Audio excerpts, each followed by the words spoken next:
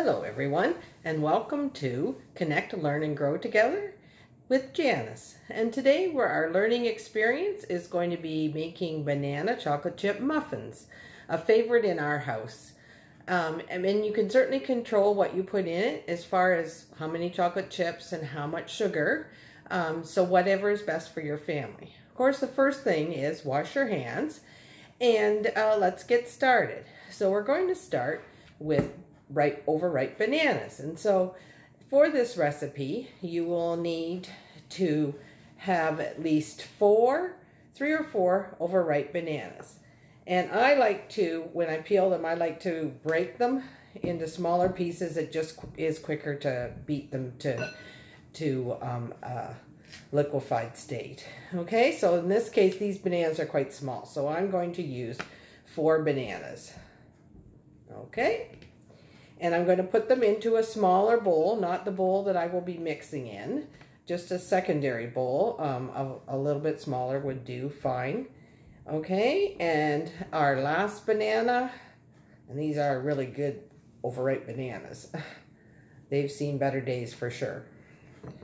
Okay, we'll put that one in.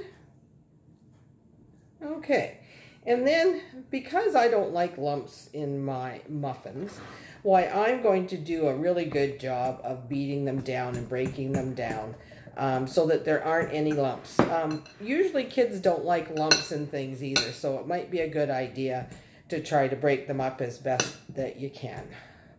Okay? And while we're um, beating up those bananas and getting them to a more liquefied or cream state, um, I would like to tell you what else you're going to need for this recipe. Okay, so you'll need one egg. You'll need um, a quarter of a cup of cooking oil, um, which could be salad oil or olive oil, your choice. Um, you will also need two cups of flour, one quarter of a cup of sugar, or you can put less in because we are adding chocolate chips to this, so that's quite a bit of sugar. So you could put even, you know, an eighth of a cup in and that would still be just fine. And then we're going to add three teaspoons of baking powder and then one teaspoon of salt. And again, with the salt, you can decrease it um, so that it it is um, not that much because, uh, of course, salt isn't good for people either. Okay, so I am creaming it, and I'll just show you. I'm trying to mix it as well as I can and get all the lumps out and and then stirring and getting all those final lumps out. Okay, all right, so that's good. Now some other things that you will need for this recipe is of course a fork, a teaspoon, a spatula, and some kind of a serving spoon to dip it out and put it in the um, muffin trays. Now for, the, for this particular recipe, I usually make mini muffins, but you can do mini muffins or regular size, and I'll give you the cooking instructions for both. Okay, so once we get all those creamed, we can put that aside, and then we'll work on our main bowl. Okay, so first of all, you're going to take your egg and break it and put it in to your bowl. And then you're going to use your fork to beat that before you add anything else to it. So you're beating it so that it gets a little bit frothy. So I'll show you again. There we go. A little bit frothy. Okay, and now we are going to add our oil, which was that quarter cup of oil. So we'll put that in. Okay, and then we are going to add our um, cup of milk. We'll put that in. And then we're going to combine all those ingredients so that they're well mixed together. Okay. That's what it looks like. Not too exciting. Uh, and then we're going to start adding all of the rest of the ingredients, all go in together and we don't stir each time. We just put all the ingredients in and then we stir everything together. Because you stir, for muffins, it's best to stir the least amount as possible. So you just want to get it mixed and then stop stirring.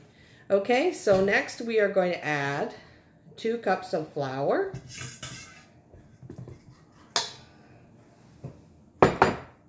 And then, like I mentioned, the quarter cup of sugar, this is actually um, uh, eighth of a cup of sugar uh, because we are putting the chocolate chips in. So, But a quarter cup is what the recipe calls for.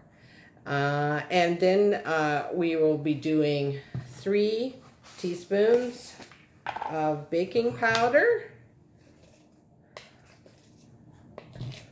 One, two, three, okay. And then salt. And so we, again, the recipe calls for a teaspoon, but you don't need to put that much in if you don't want to. Okay, great. And then we mustn't forget our chocolate chips. So it's about half to three quarters of a cup of chocolate chips in there. And then lastly, of course, our bananas. So you just put all of that in. There. Wonderful. And now we're going to stir it all together. So you use a motion that's stirring from the bottom and bringing it up. You want to make sure you're moistening all the flour. You don't want muffins that have a little spot of dried flour on the top of them. That doesn't look too yummy to eat. Um, and so you just keep mixing until you've got all that flour moistened. And don't forget to bring it up from the bottom of the bowl so you can make sure that you didn't miss any of the flour. Okay. There we go. And then this is what it looks like when it's all mixed together. Okay. Now, we would put it into either the regular sized uh, muffin tins or we can use the smaller size mini ones, which is what I use. Um, as far as your yield for what you get for them, the, the mini ones, you get about three dozen from this recipe. And for the larger regular size muffins, you get about a dozen or a dozen and a half, depending on how much, how full you, how full you fill them.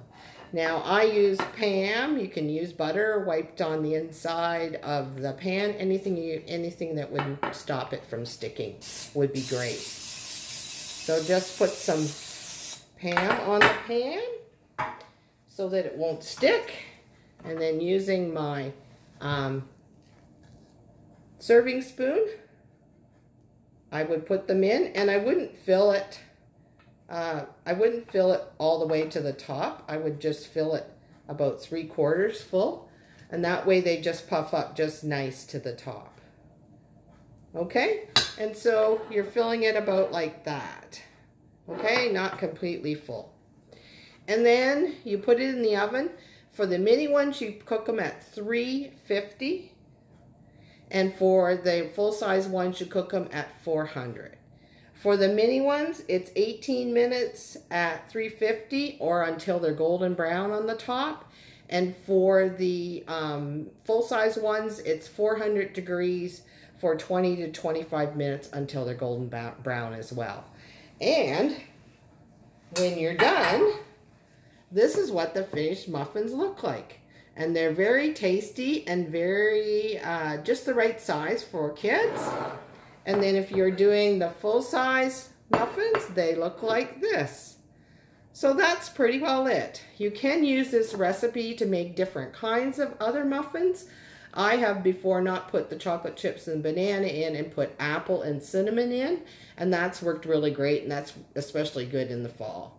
I also have done ones where I don't put any fruit in, but I put jam in the middle. So when the child opens the muffins, there's jam in the middle of it. So it's a great surprise. So hopefully you can find something here that your kids will like. And isn't banana chocolate chip muffins a comfort food? It isn't comfort what we need right now. So thanks for coming today and being part of this. And I wish you good luck in your muffin making. Bye.